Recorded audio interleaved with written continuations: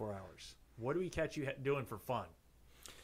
Ah, it's a very nice question because after I become a real estate agent, I realized like there is not enough time to take care of yourself. So I, after like getting busy for three, four months in the beginning, I realized no, I have to revise my schedule and find time for me and my family. Um, I always like plan a weekend to go out for like let's say Chicago because it's like a very close city, or we went. I went with my wife to Vegas and I went with the kids to California.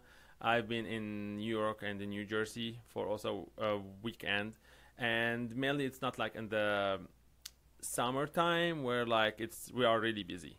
So this is when we plan something out of Indiana. Planning in Indiana, I always like give time to my kids to go out, walk, or play in the uh, backyard, go to the splash park, go to the pool.